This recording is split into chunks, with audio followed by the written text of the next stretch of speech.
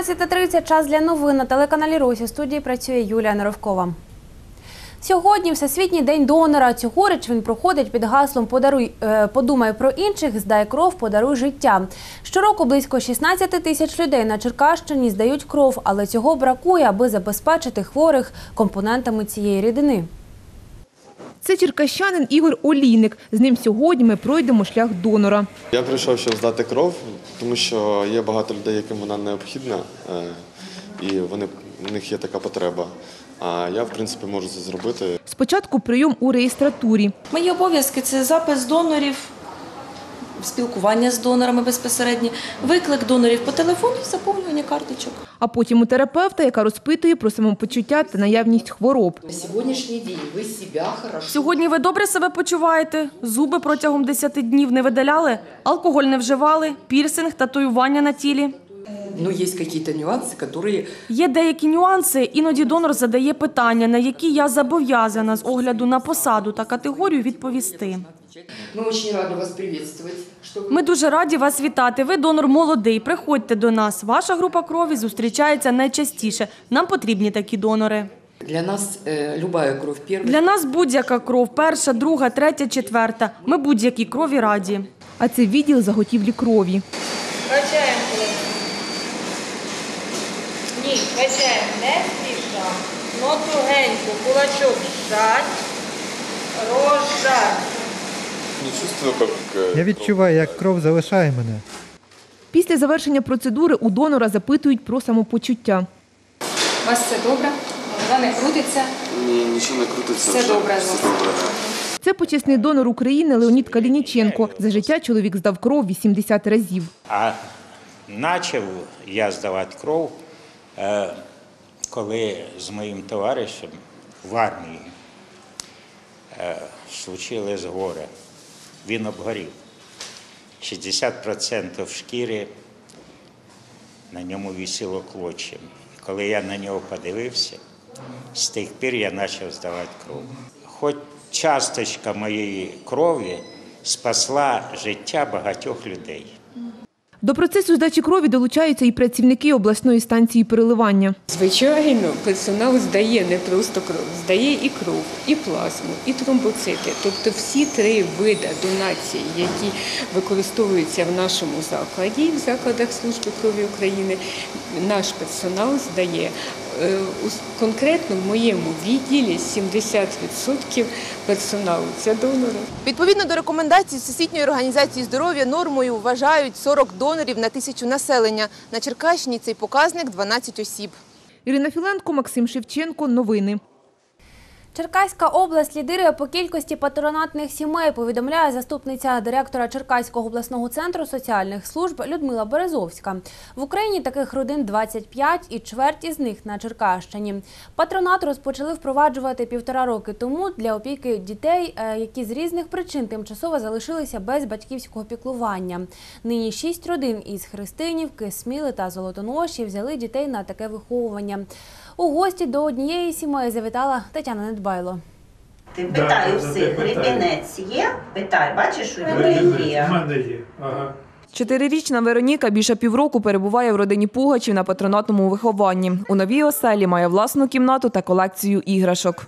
Це парачина, це зайчик, а це каченя.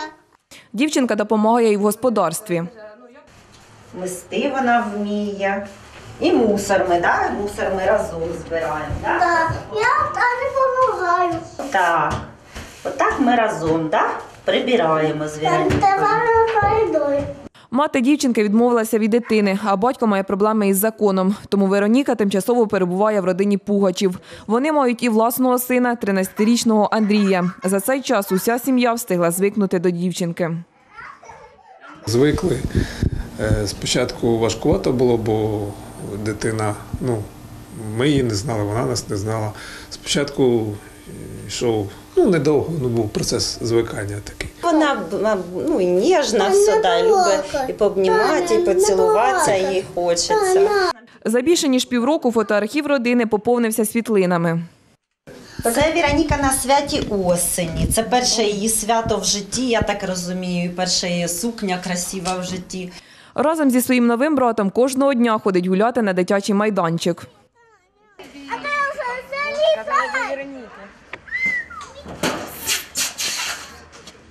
Відповідно до законодавства, патронатна родина не може виховувати дитину більше ніж півроку, але для цієї сім'ї зробили виняток.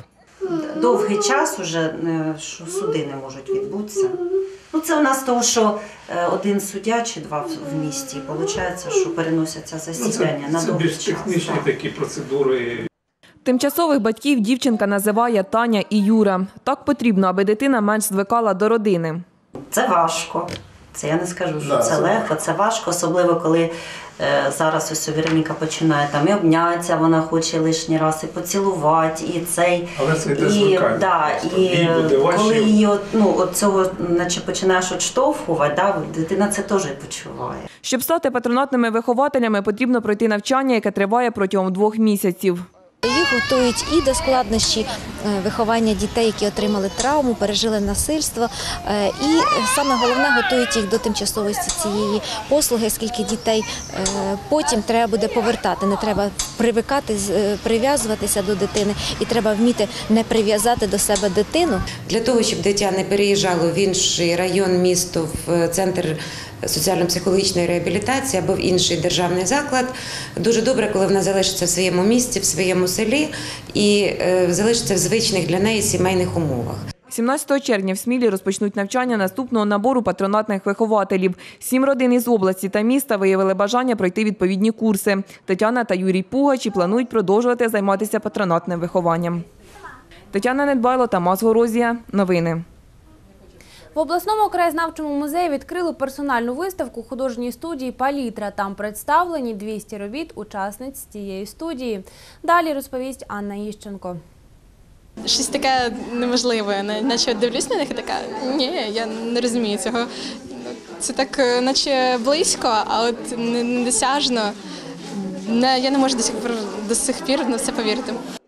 Так описує свої емоції одна з учениць студії Ольга Юдакова. Малювати вона почала три роки тому. На виставці представила сім робіт.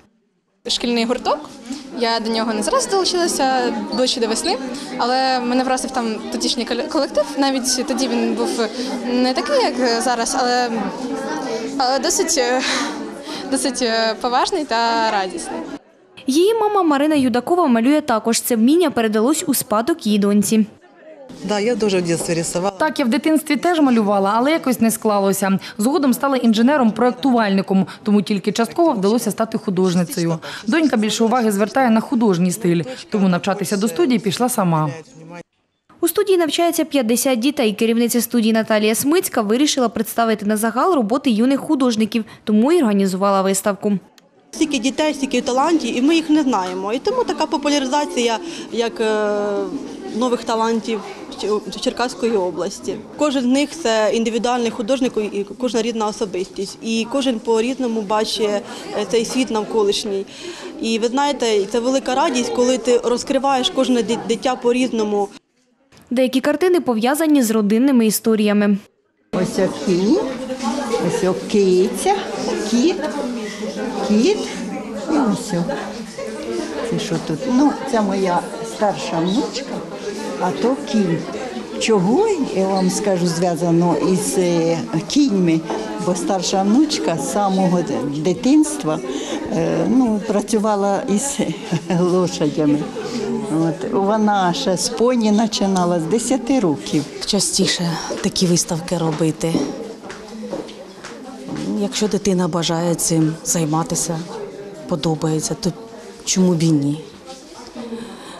Потрібно допомагати нашим дітям розвиватися в цій сфері. Виставка триватиме місяць у Черкаському обласному краєзнавчому музеї. Анна Іщенко, Федір Коцаба. Новини. Більше про події цього дня дивіться у випуску новин о 17 годині. До зустрічі!